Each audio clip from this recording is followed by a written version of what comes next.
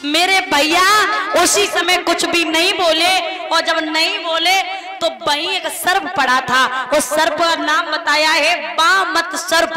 वही उठाया और गले में डाल दिया।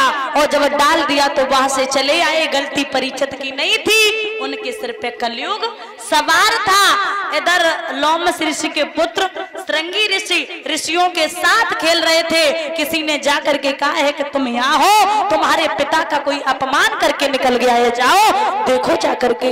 तो उसी समय आज वहाँ से श्रृंगी ऋषि चले और जैसे ही चले हैं सर्प पड़ा देखा, गले में रोने लगे, और जब रोने लगे, एक जवाब दिया है, ओ धन के मत वाले राजा, ओ माया मद के दीवाने, तुमने अगर मेरे पिता का अपमान किया है, तुमने अगर मेरे पिता का अपमान किया है तो जा, मैं भी तुम्हें श्राप दे रहे जाओ आज के सातवें दिन यही तक्षक जीवित होकर के तुम्हें आकर के डसेगा और तुम्हारी मृत्यु हो जाएगी। हाथ में गंगा जल के बूंदे ली है और ये श्राप दे दिया है। मेरे भैया लोमस ऋषि ज- जगे हैं तो कहने लगे, ऐसा राजा ना हुआ और ना ही हो सकता है। बड़ा अच्छा राजा है, तुमने श्राप गलत दे दिया उसकी बुद्धि पे।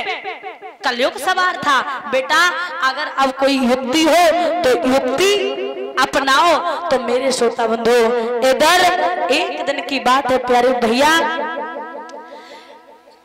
क्या हुआ मैया पार्वती जी बैठी थी और जब मैया पार्वती जी बैठी थी देव ऋषि नारद चल देते हैं और जब देव ऋषि नारद चले हैं मैया पार्वती के पास आए। कहने लगे मैया पार्वती का कर रही? हम। हाँ। तुम्हें का दिखाई दे रहा क्या काम कर रही हो? चकिया पीस रहे। अच्छा? हाँ। तो भोले बाबा कहाँ गए? कहूँ हुए? चिलम फिलम पी रहे हुए बैठे। और तुम्हें बताए कि ना जाता? बताएँगे कहा? भाई अभी नहीं करेंगे थोड़ी देर भाई। अच्छा। हाँ। चलो तो फिर जाए रे। ना कोई काम हो तो बताओ। अरे काम का उनसे ही काम है तो तुम तो जानती ना हो तुम्हें क्या पूछे? मतलब सब उनका ही काम है मतलब कछु नहीं। हाँ तुमसे कोई काम ना है अरे बताए दे लला नारद। हाँ सही कहा तुम्हें कोई बात छिपाई तो है ना आज तक। किन्ने बोले बाबा? ने हाँ। ले कैसी बातें करती तूने फटी फटाई बातें मत करो करो ठीक है? अच्छा चलो तो एक बात बताओ। पूछो।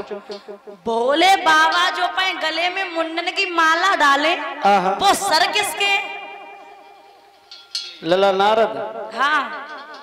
जा मने बरियो पूछी ना पाई ने कब। अच्छा।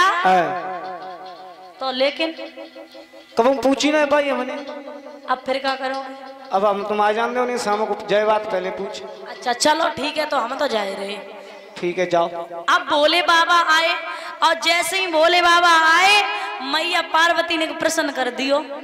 अच्छा जे बताओ तुमने आज तक वो जो बात ना बताई तुम जब बताओ तुम्हारे गले में जो मुंडन की माला पड़ी है जो सर किसके दिमाग घुमाया भोले बाबा ने हमें ऐसा लगता है कि नारद को चक्कर लग गो और नारद जहाँ जाते, वहाँ आगे लगाते रहते उनको जय काम तो है ना की बात है नो है ना की नो और और फिर उनका नाम भी तो नारद था। ना और रद्द यानी कि कोई भी बात कहें वो रद्द होने वाली।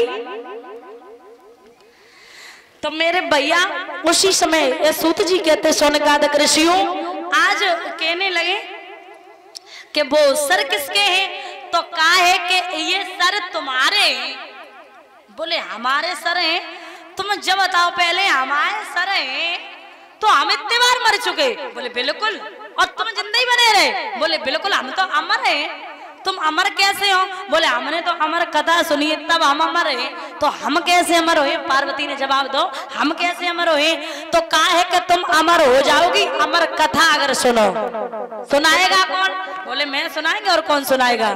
तो जवाब दिया है देखो कथा तो हम सुनाएँगे लेकिन हम कथा सुनाते समय इतने विभोर हो जाते हैं, मुझे खुद अपने तन का ख्याल नहीं रहता है। बीच बीच में हुकरा भरती रहना तो हम कथा सुनाएँगे। बोले, बिल्कुल, क्यों नहीं? उसी वन में ले गए प्यारे भैया, और जब वन में ले गए हैं एकांत में। और पहले कथा ऐसे नहीं होती थी कि शास्त्री जी, बे फलानी शास्त्री, दो बजे बैठेंगी, पाँच बजे उतरेंगी, बे शास्त्री बैठेंगे